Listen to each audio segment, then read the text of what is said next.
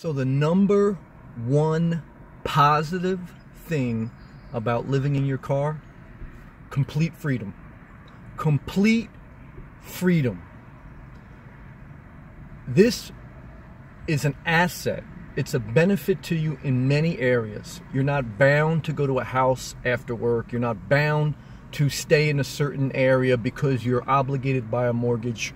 And you can change jobs with great flexibility depending on where jobs are abundant or depending on where you want to live because your living expenses are so low you have complete freedom and flexibility to go anywhere you want for the most part unbound unrestricted.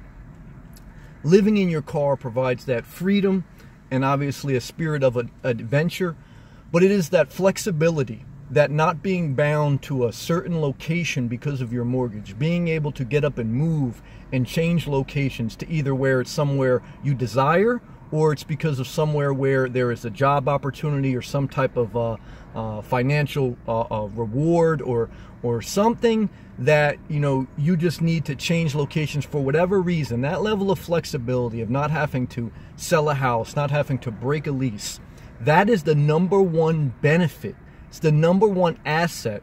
It's the number one positive thing about living in your car. Complete freedom.